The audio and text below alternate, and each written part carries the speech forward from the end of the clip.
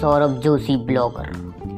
जन्म 8 सितंबर 1999 शिक्षा, tenth twelfth B F A bachelor of fine art website, drawing artist, YouTuber और blogger. उम्र 21 साल जन्म स्थान उत्तराखंड, इंडिया। धर्म ब्राह्मण, हिंदू। मूल निवासी, Dehradun, Uttarakhand. Favourite singer Jubin Nautiyal, Maithili Thakur. Favourite blogger Flying Beast Mumbiker Nikhil. जट प्रभा जोध हालाँकि एक ये सुप्रसिद्ध ब्लॉगर हैं। इनकी हॉबीज़ है ड्राइंग और ट्रैवलिंग। इनकम इनकी पर मंथ पाँच से बीस लाख रुपए पर मंथ है। यूट्यूब पर इनकी जर्नी बहुत ही कम समय में ये यूट्यूब पर छा गए।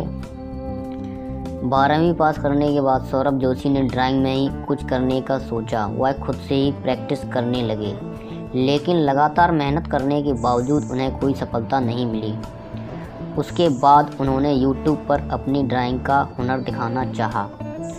सौरभ को यूट्यूब पर अपनी ड्राइंग का हुनर दिखाने का आइडिया उनके छोटे भाई साहिल जोशी ने दिया था।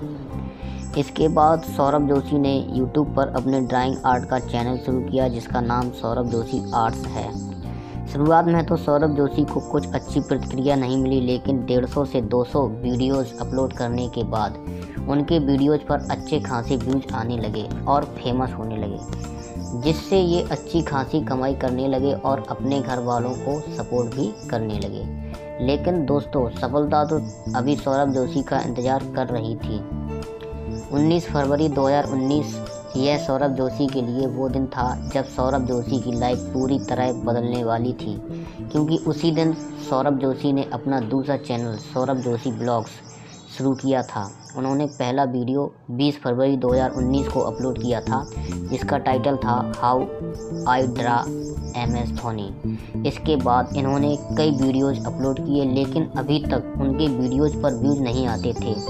जब कोरोना वायरस इंडिया में फैला और लॉकडाउन लगा तो लोग कहीं बाहर निकल नहीं सकते थे और आज और आ जा नहीं सकते थे।